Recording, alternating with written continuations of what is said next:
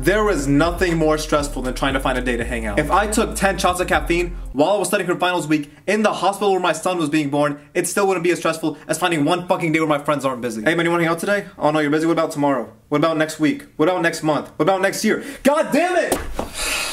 If I don't make the attempt to try and set up a day to hang out, we're not seeing each other until 2020. Actually, that reminds me. Remember when everybody thought we were gonna die in 2012?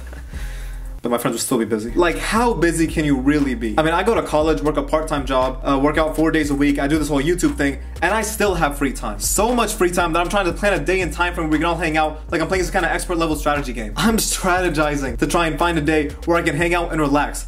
What is happening? Remember back when you could walk to your friend's house when you wanted to hang out? Now I gotta text them, wait six hours for them to respond because they don't want to text back right away because they think it seems needy. Then spend the next hour trying to schedule a day next year where we can hang out for 15 minutes. Like, I honestly don't understand how you're so busy. I bet you God could make more free time than some of my friends. Hey God, it's Jesus slash Muhammad slash Abraham. I don't want to find the comments or anything over religion, so I'm just gonna include all of them. Hey, so uh, you wanna go to Earth today? Uh, I don't know, man. I'm kind of busy. Oh, damn, busy doing what?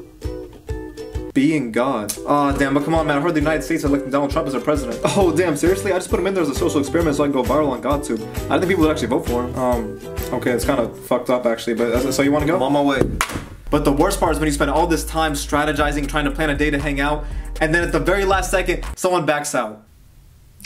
I want to murder you. Like, I want to send you a bullet through a text, and then as soon as you open the text, it just pff, right through your skull. Now, I know I'd go to jail for, you know, murder and everything, but even going to jail would be less stressful than trying to find another fucking day where none of my friends are busy. You know what? Just, just don't have friends. I think it'll make everything a lot easier. Subscribe if you want to see more. Like this video if you liked it. And comment down below what time you want to hang out. I'll see if I'm free. And I'll see you in hell.